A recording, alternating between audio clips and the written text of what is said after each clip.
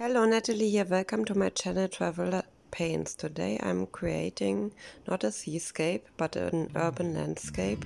Inspired by this photo I took of a San Francisco sunset.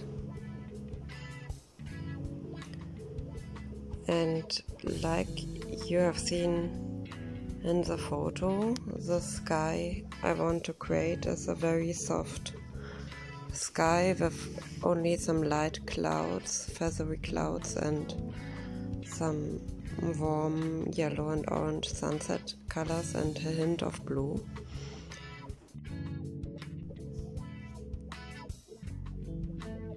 And in order to create this, I'm choosing the Dutch pour technique, meaning that I'm going to blow the paints out with my blow dryer but then I'm going to tilt the result of this Dutch pour to get this very soft gradient look of the colors without any big cells or dramatic looking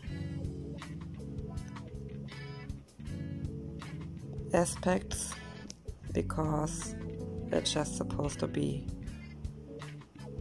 a very soft and warm and serene sky. So here blowing out the colors, just blowing the white over the colors with my blow dry and then blowing out. The direction of blowing doesn't matter that much for this kind of technique because it's going to be tilted anyway.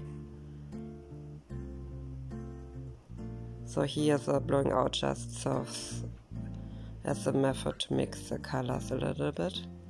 So now you see me tilting this result.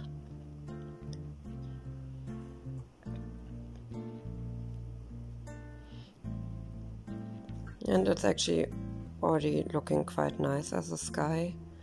Just a little bit of orange missing at the bottom and then it just has a little bit too much drama for what I wanted to achieve.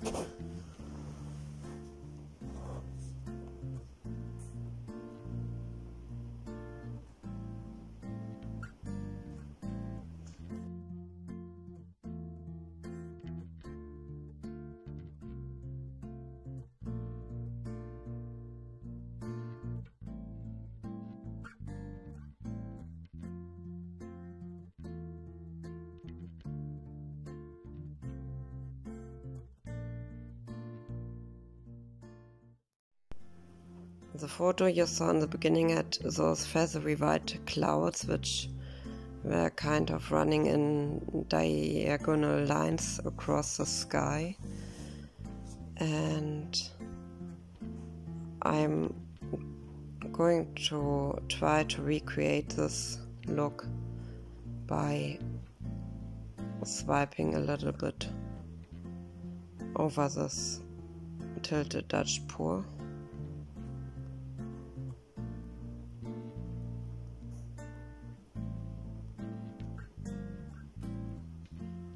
First I'm mixing the colors a little bit more by blowing with my mouth.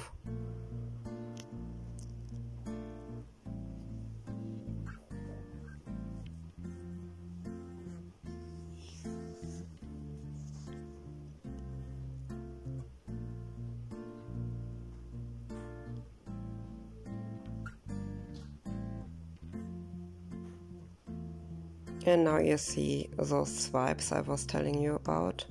I just use paper, the shiny paper that comes with my canvases dipped into my pearl white and cream mix. You can find more information about all of the colors I used.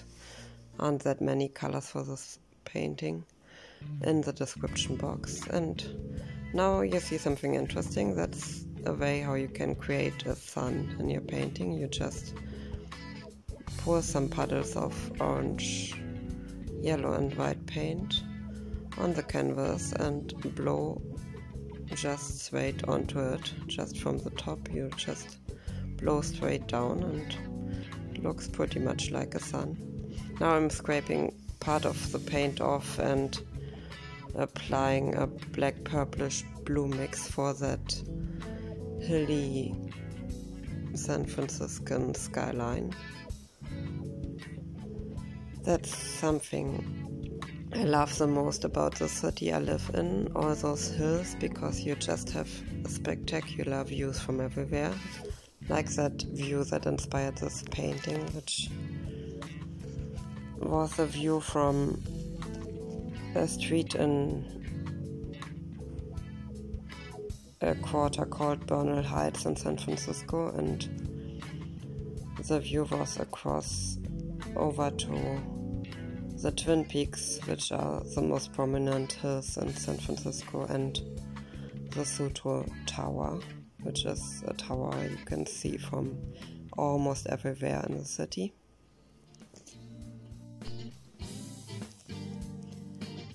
Originally I had mixed up the colors for this painting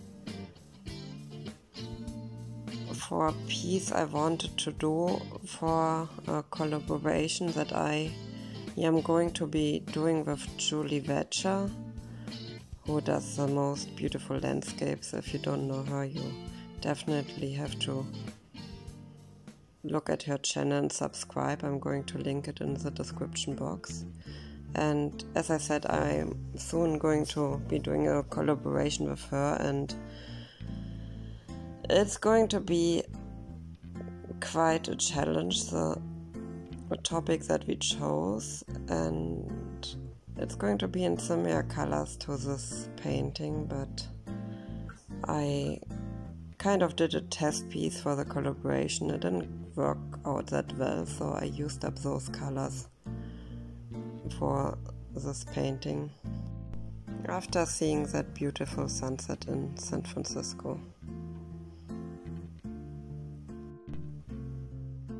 Which of course meant that I had to mix new colors for the collaboration with Julie. But sometimes that's how it is, how creativity works. Not always according to plan. This is also not going according to pl plan. I'm trying to kind of swipe in the Sutro tower with my palette knife, but it doesn't work. I don't have the right kind of control and the background is still too wet and it's just not looking good. So I'm scraping this part and just applying a bit more of my background colors to smooth that out.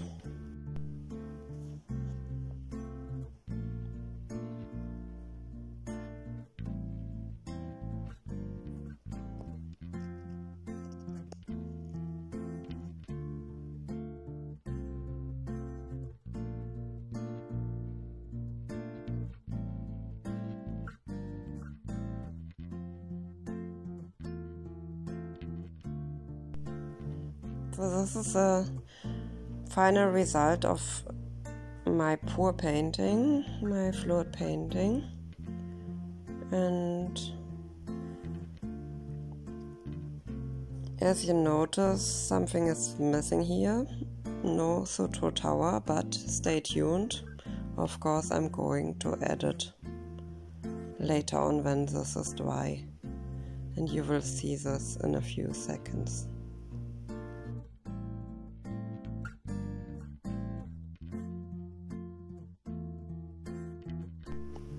So I got myself a Posca pen and I practiced a little bit drawing this tower on paper, and now I'm daring to draw it onto my board canvas. Not easy, that's actually the first time that I'm embellishing a pour in such a way that I'm drawing something onto my pour.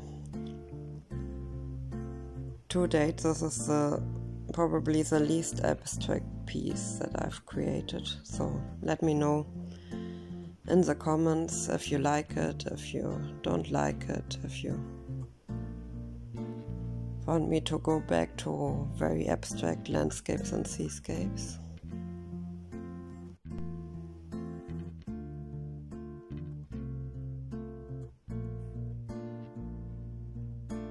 This is just something I had to do. This view was so beautiful, and the Sutro Tower is such a prominent landmark, and it's just cool to have a painting with that in it.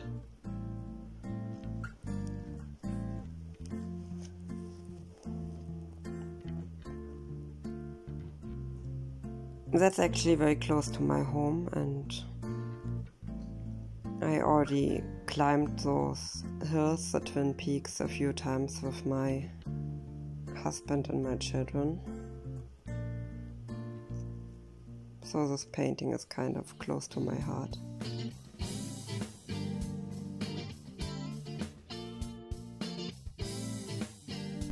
And it's finished. I think it's looking good. Pretty similar to the photo. Here you see the comparison. The hill line might be a bit exaggerated, but you know, it's poured, it's abstract, it's not an oil painting. I like it. If you like it too, please like this video, subscribe to my channel, and thank you for watching.